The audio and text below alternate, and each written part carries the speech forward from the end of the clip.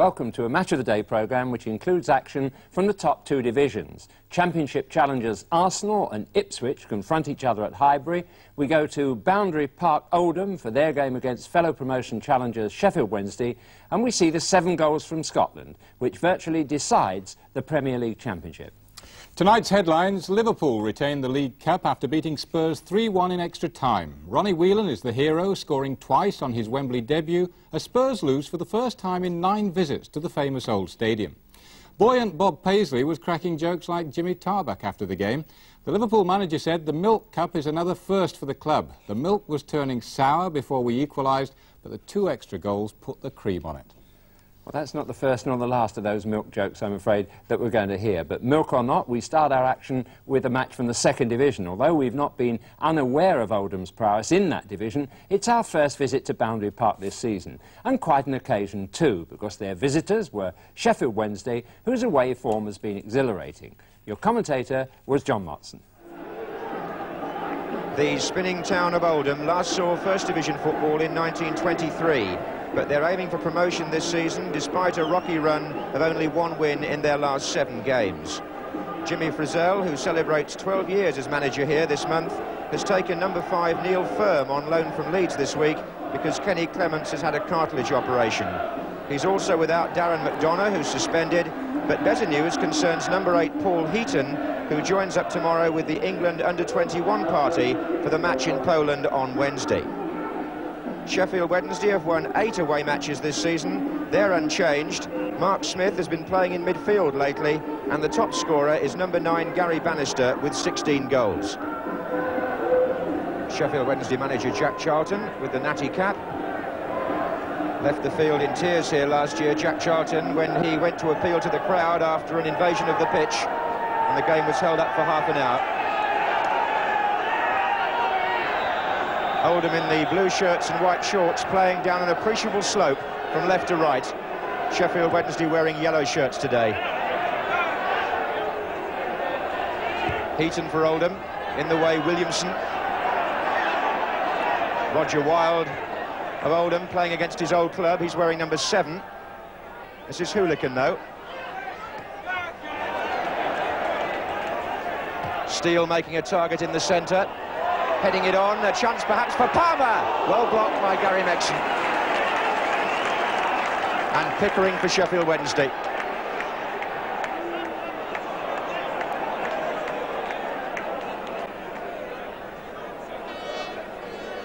Roger Palmer, the former Manchester City forward, nearly capitalising there.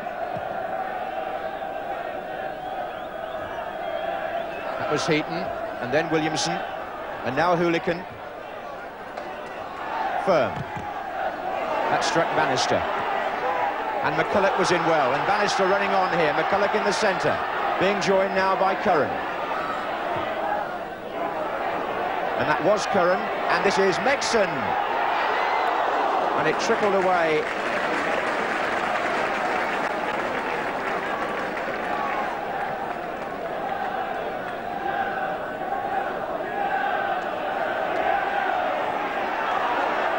Sterland's tackle on Ryan.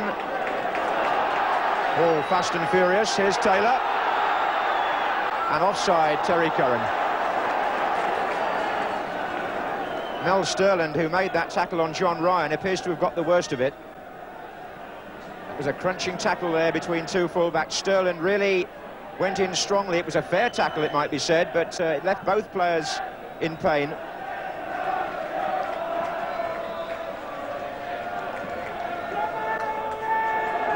22 years this May, Jimmy Frizzell has spent with Oldham Athletic Football Club as player, coach and manager. Up goes Steele.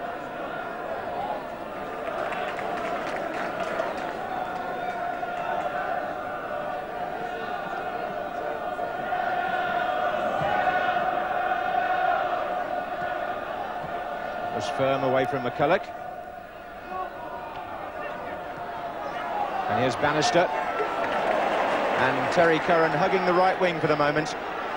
Taking on a fullback who's still suffering from a knock, John Ryan, but uh, able to cope with that situation all right.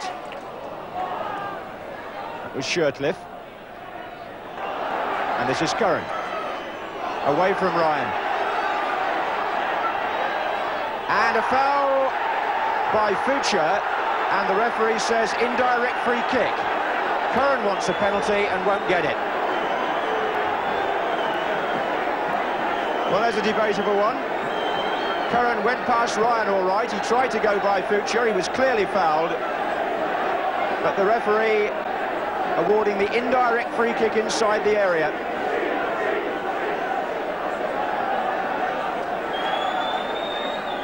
Which Curran takes, and away by Firm. Here's Taylor. Williamson.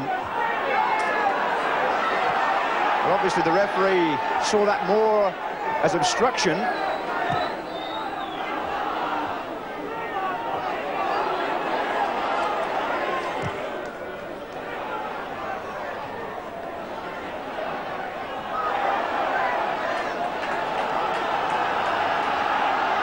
Roberts, who raised the arm in that fashion. Heaton.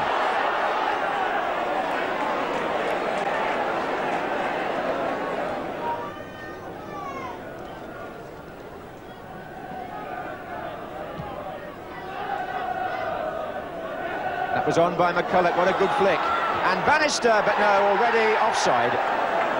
Offside against Bannister after McCulloch had flicked the ball on beautifully.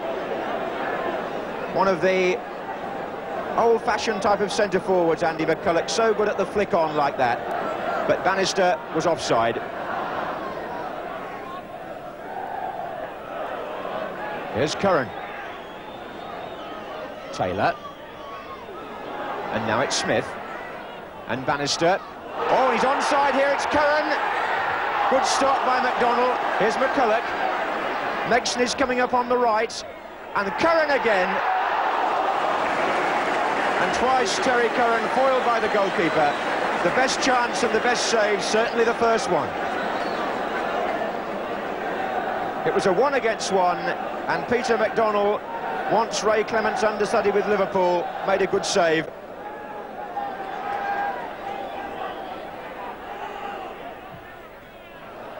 Here's Sterland. McCulloch going in, away by Firm. Williamson. Again, McCulloch is the target. Now it's Smith. And it was Smith again. He got one full in the face there as he challenged Palmer.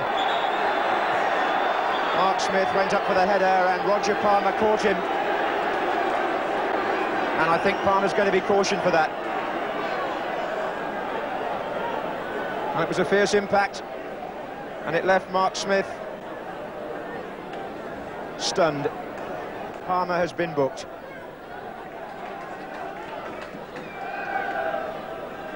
So play resumes with the free kick to Sheffield Wednesday.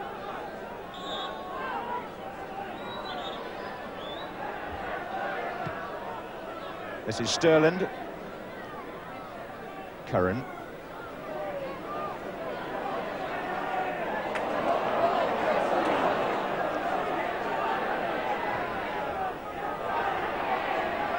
Steele back in defence for Oldham. This is Atkinson. And Oldham is the home side, finding it quite difficult to get into the opposing half. But they have now. Roger Wylde. Nice turn. Heaton. Palmer.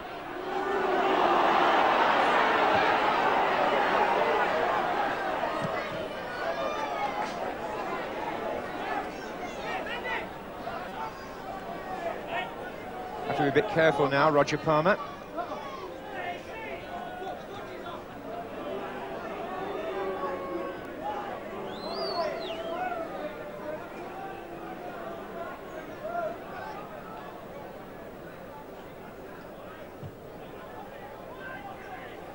Steele with Pickering. Hoolickin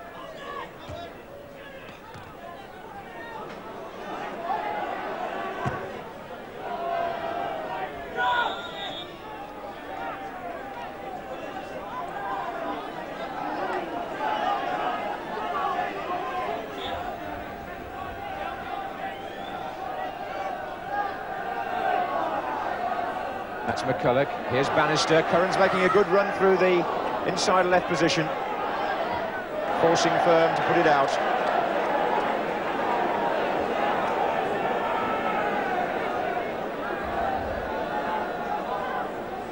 And the balance of play very much with Sheffield Wednesday here.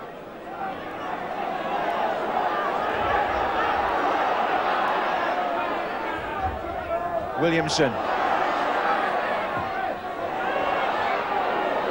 Going to come out to Taylor.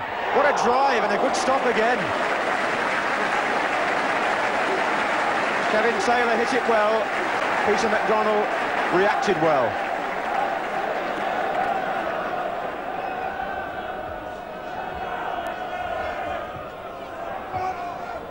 It's going to come back to Bannister. Firm with the header out. Nicely done by Ryan for Oldham. And now Keegan. Back by Pickering.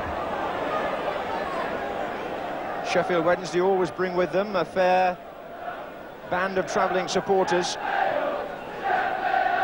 They've been backing the club through thick and thin and hoping to see them get back to the First Division where they feel they belong. Heaton. Keegan for Oldham. Back again to Heaton. That was nicely done. Wylde. And Heaton. And Steele coming in from the far side. And Wylde with a chance. And Bolder didn't give him very much to shoot at. But Paul Heaton twice involved in the move. And Oldham's best move it was so far, without a doubt. Some really good play there in the build-up. Wylde in the end with the shot.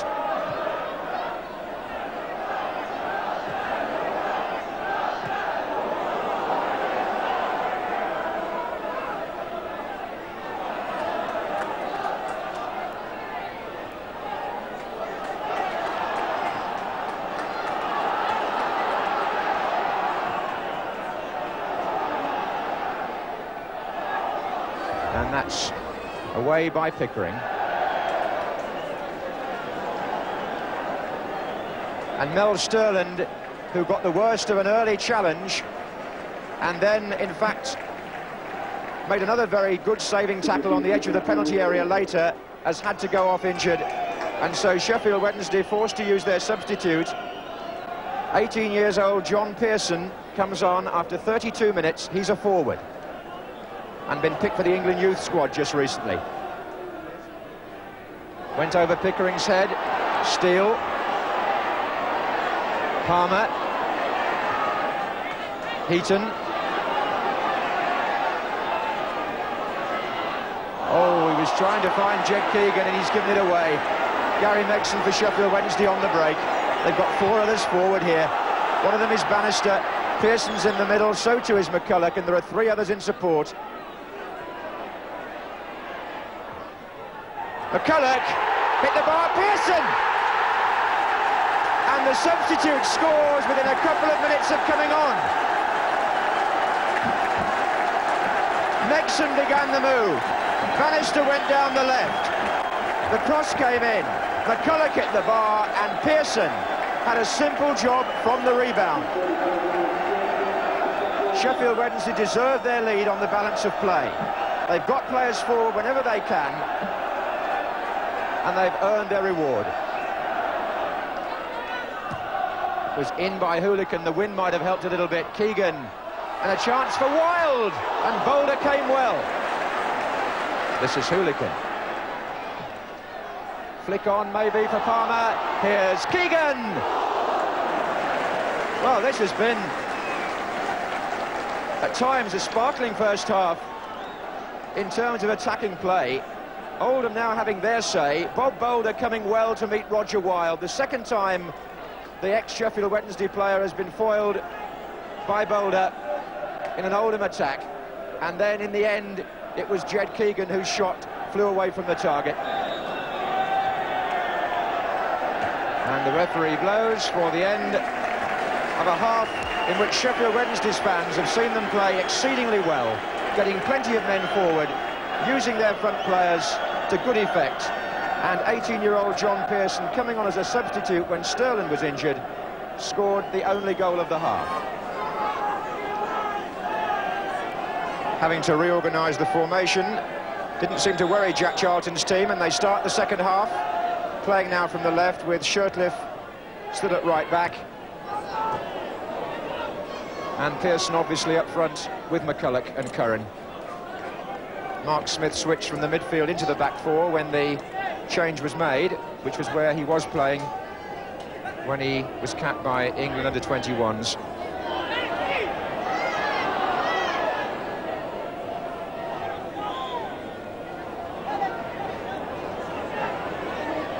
Put up and a free kick to Wednesday.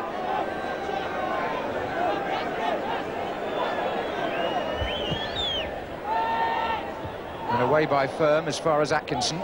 Then Keegan.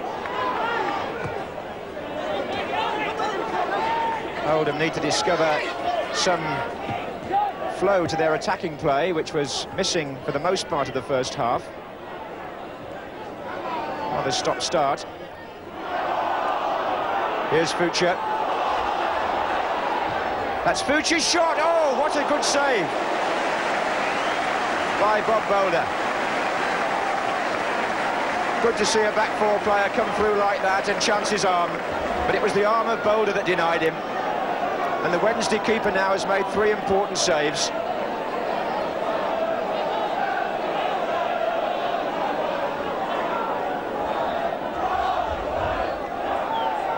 Here comes Firm. Oh, he scored! But no, the flag is up on the near side. And I suspect the linesman saw a player in an offside position and has notified the referee who wipes out the goal.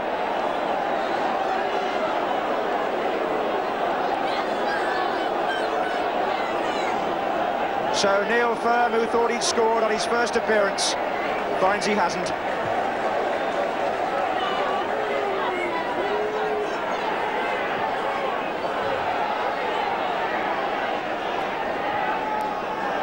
Keegan, and now Heaton, and now Wylde, and here comes Atkinson. What a good start to the second half here by Oldham. Two fine shots one effort in the net disallowed as they get their game together at last. And Oldham also want to make a substitution because John Ryan, struggling with an injury from early in the match, has given it a try and is going off. But the substitute, handily enough for Oldham, is a fullback, Steve Edwards.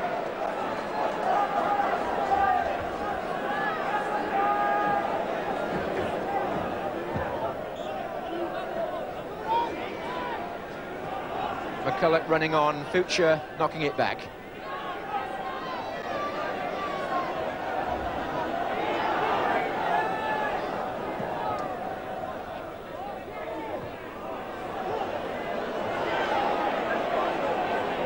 Kevin Taylor working well in midfield for Wednesday, and so is Megson.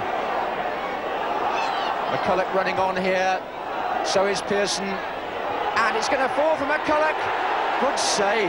He was onside. And Peter McDonnell, along with having foiled McCulloch, along with his opposite number, Bob Bolder, making this very much an afternoon for goalkeepers.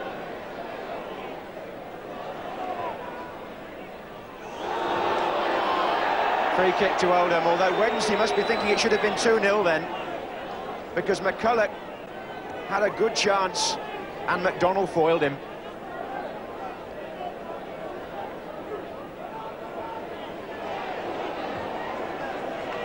Edwards joins the attack. In for Roger Wylde. That's his cross nice touch back by Andy McCulloch, who uh, had gone all the way back there to help out the Sheffield Wednesday defence. Epitomises the way they played today.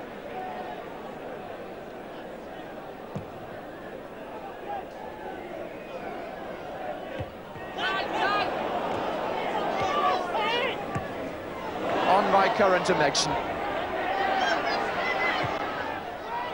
And away by Futcher.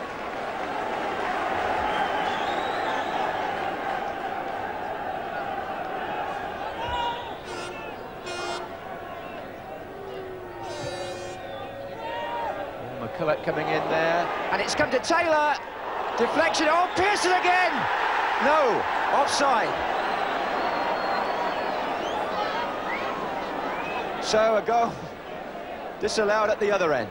And significant that young Pearson was on the spot again as it was knocked back in. But offside.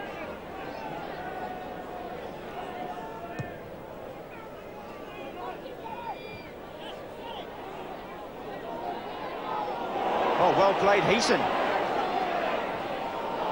Keegan had gone further in. Here's Hoolickin. Heaton. And away by Pickering, but only as far as Hoolickin wants more. He's found Edwards. Oh, and a shot at the far post and wide. Paul Heaton can't believe it. He should have scored and he knows. But the touch on the ball, taking it out for the corner.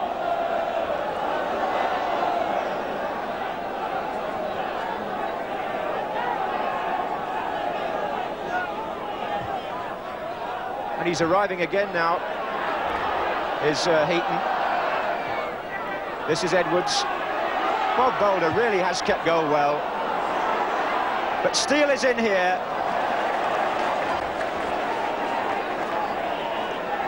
Having a good afternoon is Bolder. And now Taylor, and a good run through, oh, offside. I was going to say a good run by Curran, which it was, but Bannister in the picture there was offside. He was further forward.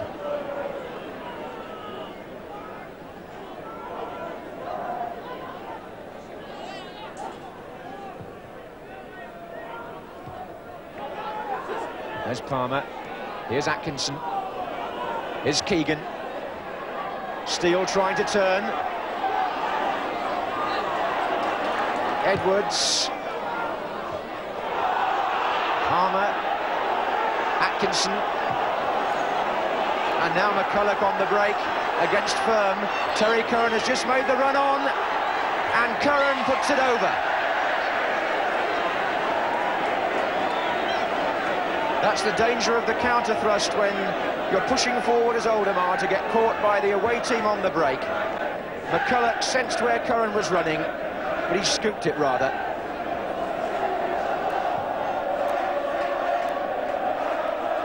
On by Wylde.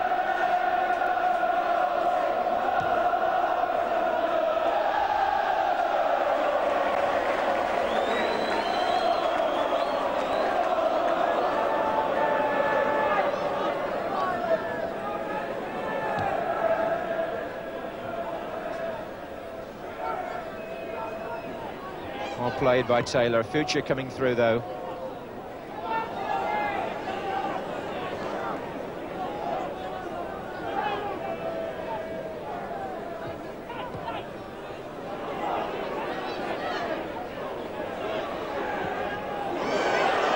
Curran. And there goes Megson. Round the back nicely off, and Futcher coming across, put it out.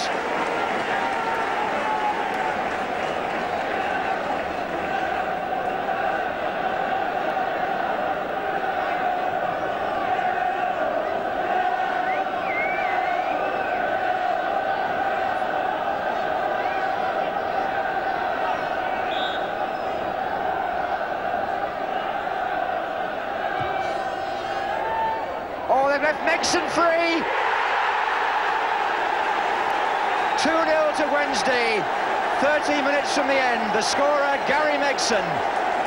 Bannister took the corner. The big men took the attention of the defenders. It came out to Gary Megson, and he buried it. So three points beckoning now for Sheffield Wednesday in this important promotion match. Steele is in the middle and away by Curran.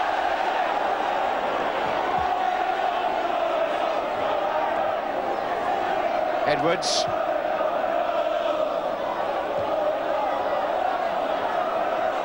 Atkinson's drive. There's been some good blocking in that Sheffield Wednesday defence, no mistake. Keegan is onside, and Oldham have got plenty of support in the middle.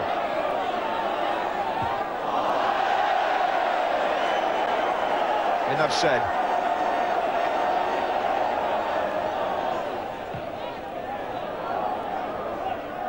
The header was by Bannister. The man through is McCulloch. Out by Edwards from almost on the line.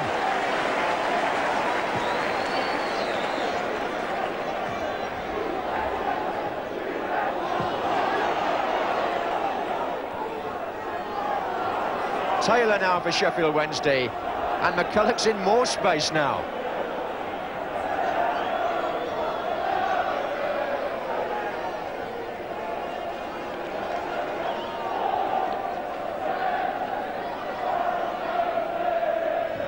Here's Megson. McCulloch. Pearson. The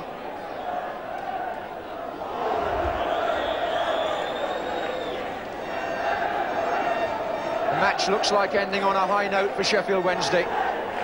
Their fans are the ones responding for the moment. They have a two-goal lead and a free kick here. And it could so easily have been three a moment ago.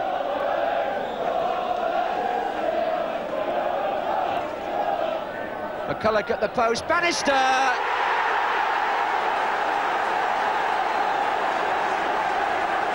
Taylor took the free kick. McCulloch got the flick in, and Bannister volleyed that emphatically past the goalkeeper who got his hand to it, but was beaten by the power of the shot. The Wednesday fans chant easy, and you can't help but draw comparisons with the match at Luton early in the season when Wednesday won 3-0 and looked promotion prospects. They've looked exactly that today. Bannister, who scored on that occasion, just one of many Sheffield Wednesday players, as Keegan tries to get one back for Oldham. And Palmer shoots just wide. And as the final whistle goes. Three goals and three points for a very impressive Sheffield Wednesday team. Gary Megson outstanding. Bannister got the third goal to seal it. Exciting goalkeeping at both ends, Bob Boulder and Peter McDonnell.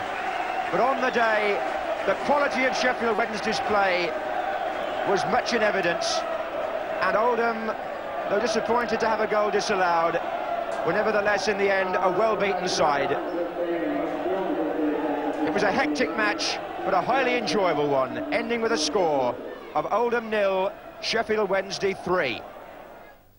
Well, I, for one, am not grumbling about the entertainment value of that game, and I can quite see the Oldham players, fans, and manager Jimmy Frizzell being disappointed with the result because the contest was so much closer than the score suggests, as Jackie Charlton agreed when he spoke to John Motson afterwards. I felt sorry for Jimmy because, you know, his team's played very well today. We've played very well. 3-0, you look at it tonight or tomorrow morning, you think, we must have got run to death, and he didn't. You didn't.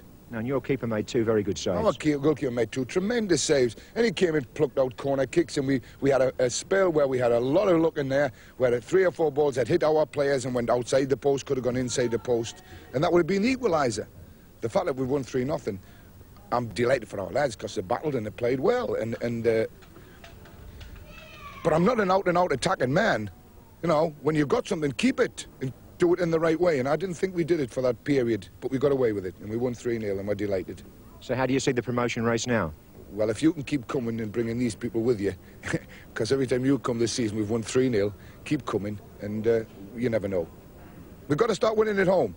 If, if, it was, if we had had anything like a home record, we would be out of this division now, and we could have all gone to Spain on holiday. But uh, our home performances have not matched our away performances. So it's, uh, we've got to start winning at home. If we can do that, we'll get points away from home and we'll go up. Well, for our second match, we go to Highbury, where Arsenal, playing Ipswich, are in the strange position of being championship challengers, but still currently out of favour with some of their supporters. They can win matches, but surplus goals seem to elude them. Commentator Barry Davies sought the views of some Arsenal fans about this problem just before the kick-off. I just hope Terry Neill decides to get a striker before it's too late. I mean, we need a striker. We've got to score goals, and we haven't got anyone to score any. I think the football's dreadful. I remember 20 years ago they scored nearly 100 goals. Now it's 22. It's a disgrace for a football of this, a club of this magnitude. I think it's disappointing that we haven't replaced people like Stapleton and Brady, but overall the fact that the club have managed to remain in the top six and around that area without playing people, I think shows that uh, uh, Arsenal are still the finest club in London. They haven't been able to replace those principal players which left before, and I don't think they give enough opportunity to the youngsters. They rely too much on a fixed pattern and do not play the game as it should have been played 20 years ago, when we relied on wingers to bring the ball down to the byline and score from there. And they're still a great team. All we're lacking is somebody to put the chances away. It can't be a bad team if they make all the chances that they do. So all they need really is some a striker, a good striker. Amid their problems, Arsenal introduce another new face to the Highbury faithful this afternoon. He's 18-year-old Paul Gorman, who comes from Dublin and who made his debut at Maine Road, Manchester last week. And he joins in the Arsenal team three other players who made the breakthrough this season. At number six, Chris Whyte. At number 10, Stewart Robson, who started as a fullback, but who is now playing in midfield and the substitute Raphael Meade. It's the side still looking for goals. Their total in the league here at Highbury this season amounts to only 10. They're unchanged and so are Ipswich Town, having gone back to winning ways against Everton last Saturday. But now joining Frans Thijssen, Terry Butcher and Paul Mariner on the injured list is now the goalkeeper Paul Cooper. So Laurie Sivell gets another opportunity. There's quite a wind blowing, and it's blowing from left to right. And it's Ipswich wearing white shirts who are playing into that wind in the first half. Here's George Burley. First header for the Arsenal skipper, David O'Leary. Graham Rix, these days playing well forward. Paul Davis making the run. And the goal kick. And the referee this afternoon is Tom Bune of Cranleigh in Surrey.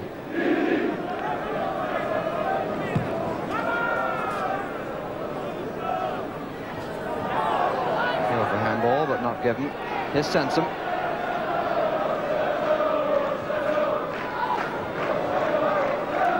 Davis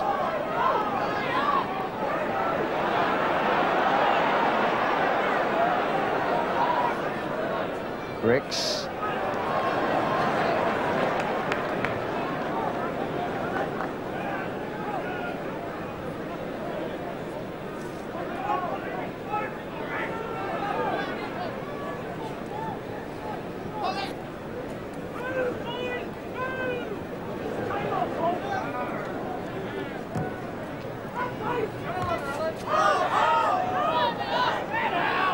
Robson.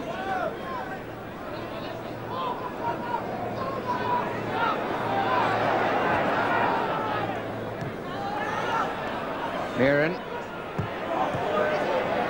Solid play by Hollins. And here's Sunderland. And McCall let it go. And Robson puts it in.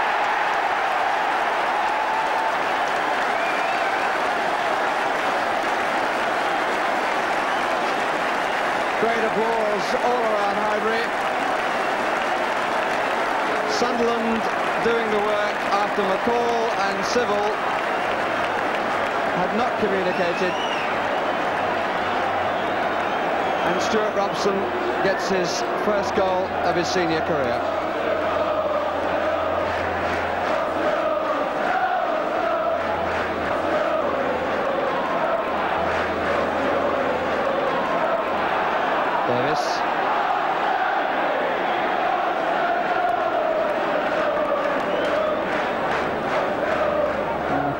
Team are to win the title. This is the sort of fixture that they have to win. Sunderland. Mühren's header. Then the back player somewhat indecisive, but handball by Stewart Robson.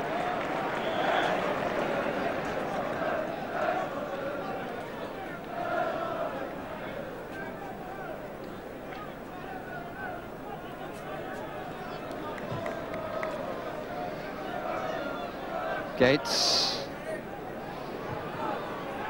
And Whyte struggling. Brazil forced wide by Hollins.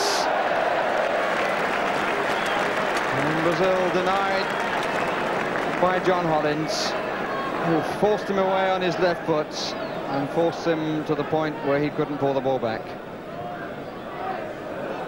Good play by an experienced player.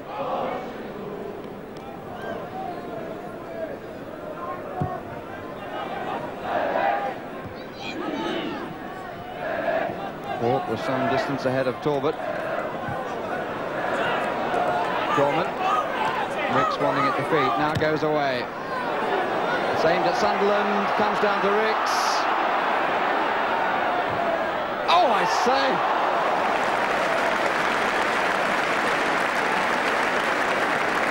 Well, it seemed to take him half an hour to get it into a position, but when he struck, it was one to be remembered.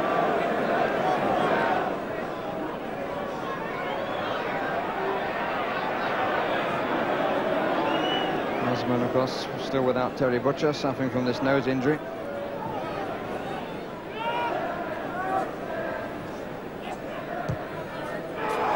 O'Leary watching and didn't get it right. But he's on the line to cover. As it turned out, it wasn't necessary. Again, he had to go too far wide.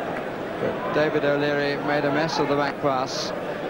And Wood's speed off the line certainly helped save him from the error.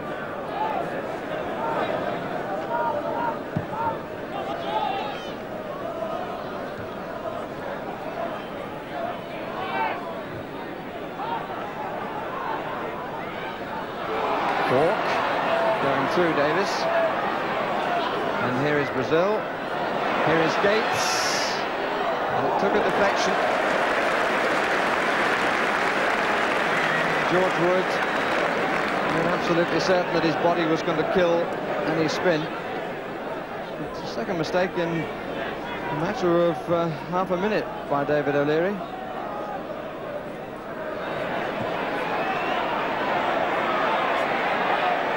Four in the middle.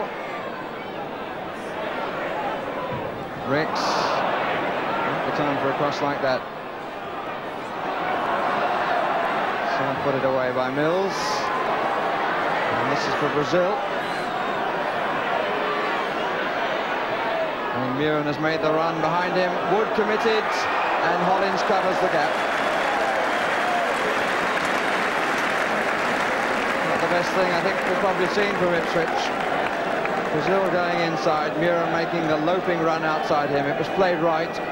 Wood came to collect. The cross came in, and Hollins was covering the hole. Away by Talbot. Brazil. George Burley.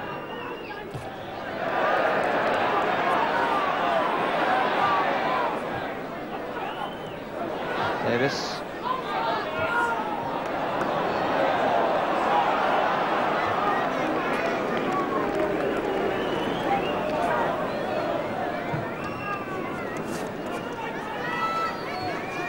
By Davray. Robson. Rix, and he's away. It's there now, surely. No, it's not. Goalkeeper's arm turned it away. Well, he was it to the gap. It closed a little bit at the moment that he decided to shoot. Didn't get the venom that uh, he was probably hoping for. And the flattened arm of Sivell turned it away for the corner. Davis takes. Good plant again. Sunderland. Another good header by Burley. Robson, and here offside is Davis. So it wouldn't have mattered anyway. Probably feel relieved that he was offside.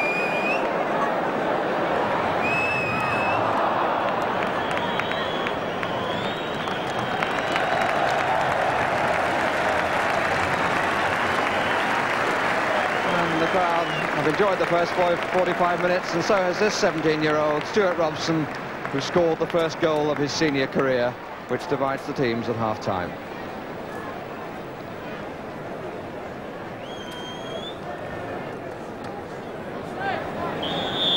the start of the second half of a match of great importance to both sides, being among the pack, chasing the leader Southampton, both of them with games in hand. Here's Whyte.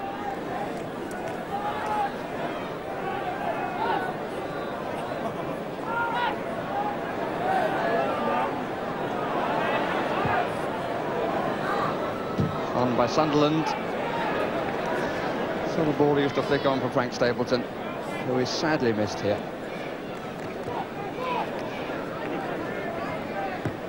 Players having to put up with the other side of freedom of contract. You can see a team being spoiled by the absence of a key player. Here's Sansom. Gorman. Looking for Sunderland. Steggles neatly out of it.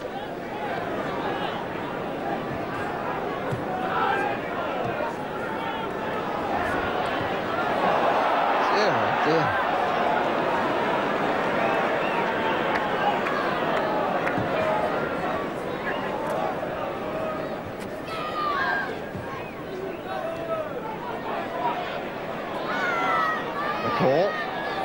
challenge well. Mühren, Osman. Robson. Mühren. Burley with a bit more space. And more here for Brazil. Burley, good save. Oh, he really held that well. That was the beauty of that. Just seemed to put out the hands as Burley saw the gap and was well set up. And George Wood really plucked it out of the air.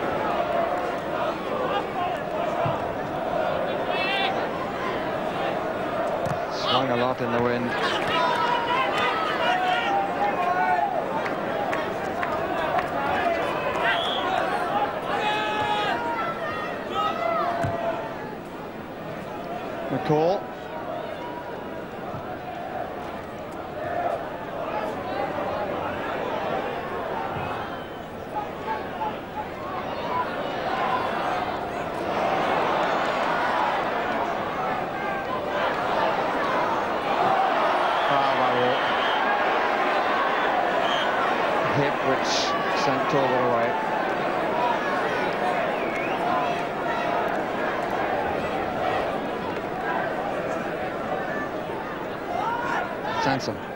Davis.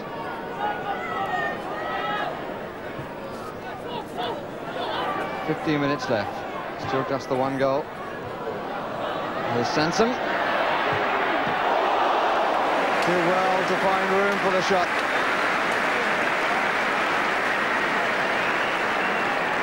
And the man of not dissimilar stature got down very quickly to cover his right-hand post. Robson and a good catch. He met it with a fair amount of power. Sivell took it well.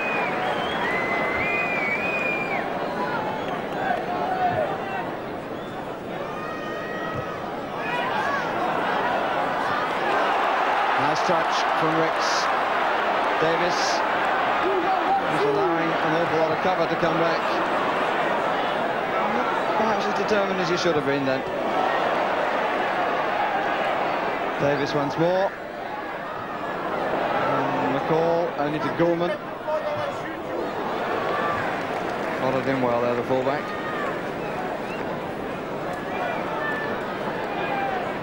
Had an opportunity then, but he didn't really seem to see it.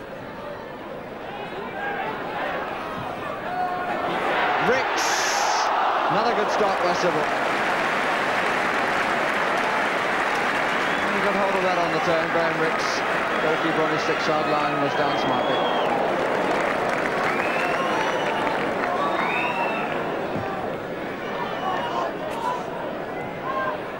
Whyte. Hollins.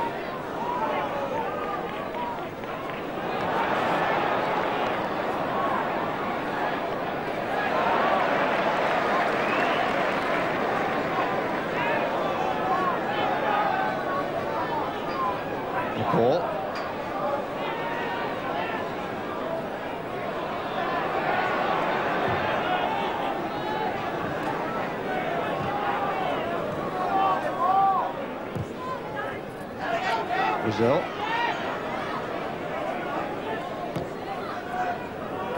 Wark. Steggles.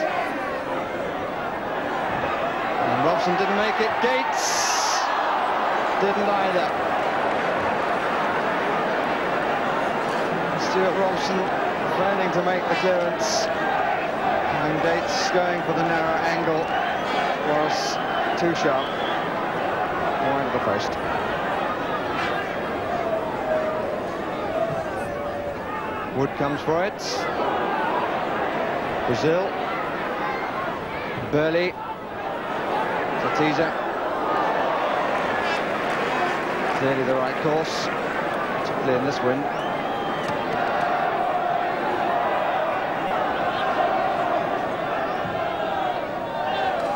We're pushing, but Evans and a goal kick.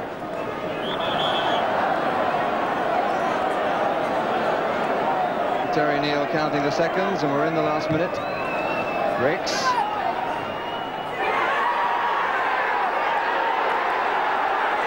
Robson. And the roars from the crowd had nothing to do with this match. Sunderland. Gorman!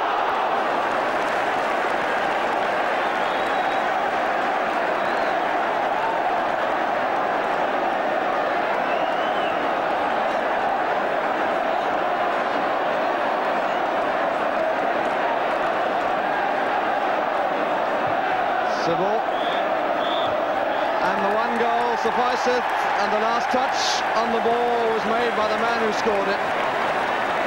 Stewart Robson's goal in the 11th minute, giving Arsenal the three points.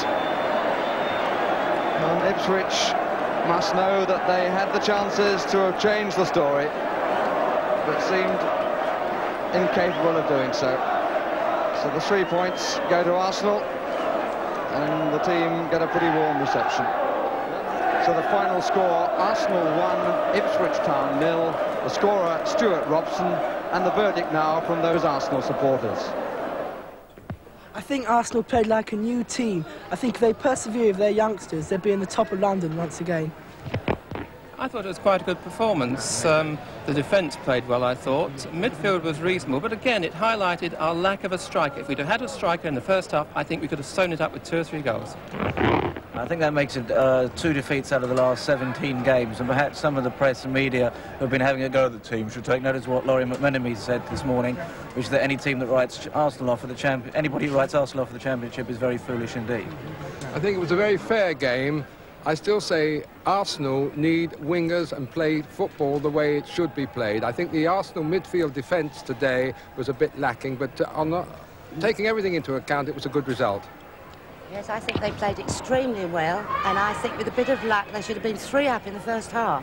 It's just the lack of strike power that we're short of.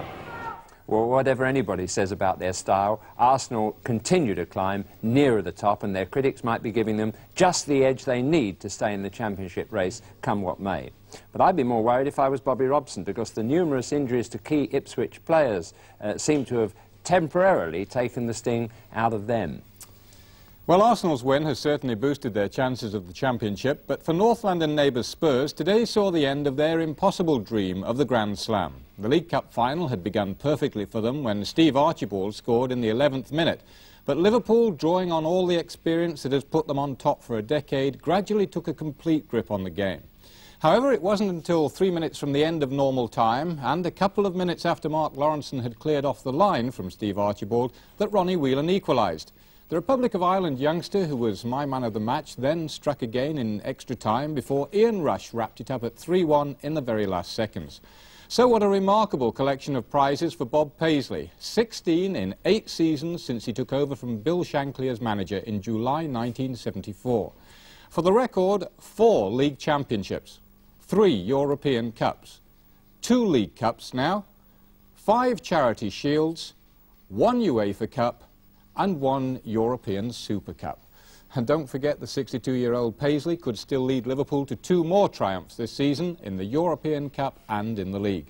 Paisley was full of praise for young Ronnie Whelan, saying for a youngster to perform like that in his first Wembley game was quite outstanding. Whelan's reaction, I had no sleep at all last night thinking about Wembley. Spurs manager Keith Burkinshaw said, losing at Wembley is a real letdown after the big build-up. Liverpool always come back at you and I've never seen any other team close down Hoddle and Ardiles as well as Liverpool did. I'm sick of seeing Bob Paisley win things. I only hope I'm in the same position soon.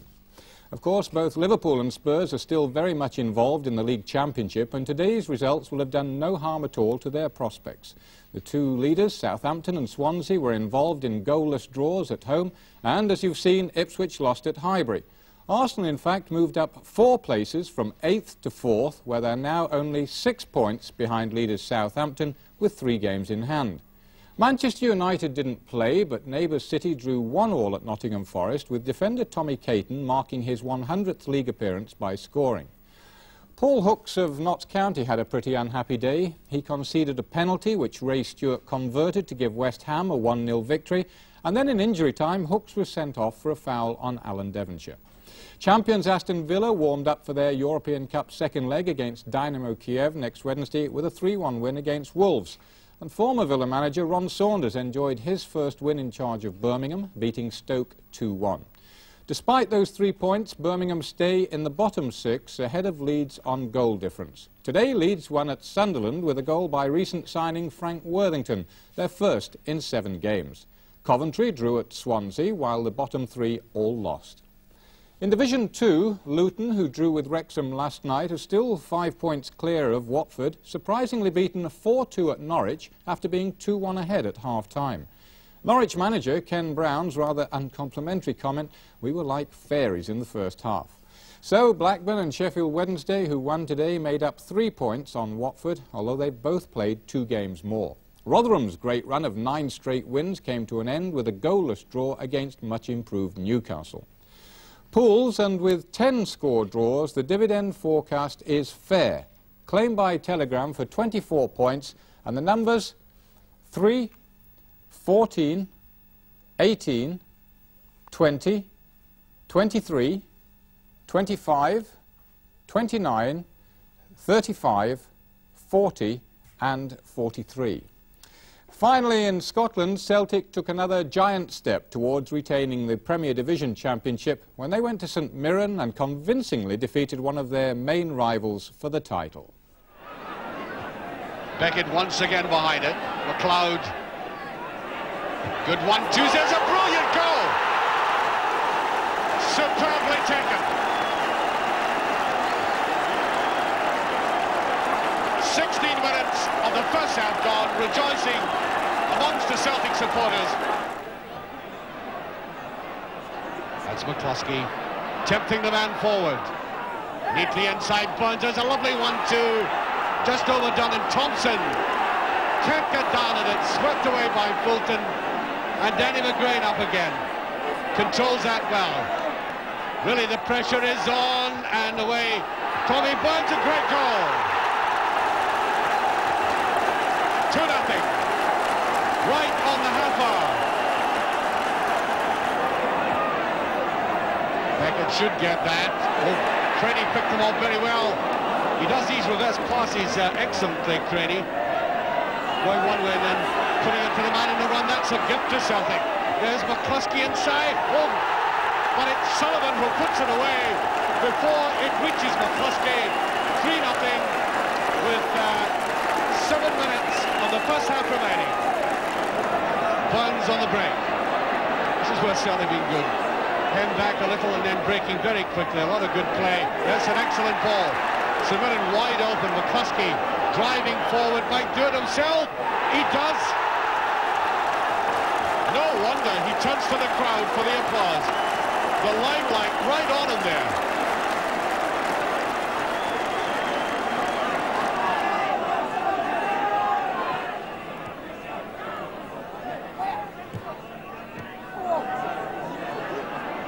That's McDougall. First real touch of the ball. There he is again. Celtic right across edge of the box, making it difficult for Mirren to see goal. They do that. That's a good ball, a great goal.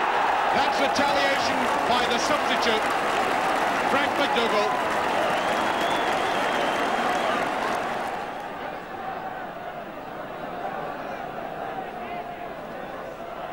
McCluskey puts it to the side as uh, Craney came in. St Mirren wanting to make a game of it. Burns turns well, and this is where St Mirren have found it uh, difficult to pin Celtic down the turning of the front runners. That's good play, good understanding. A man in difficulties pushing it back, getting into the clear and getting on the return. Brilliant football by Celtic. Here's McLeod with a chance. He's going to do it, yes. Beckett certainly put it over the line, but I think I'll give the credit to Murdo MacLeod.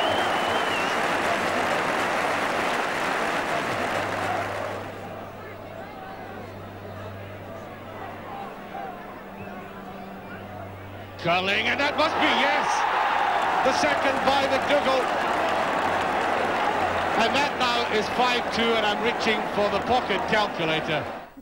Well, that's all for tonight, except to note that not for the first time recently, a second division game on Match of the Day has been very much more exciting than a first division game. And to remind you that there's European Championship action from the worlds of boxing and football in Sports Night on Wednesday next. The programme starts at 9.30.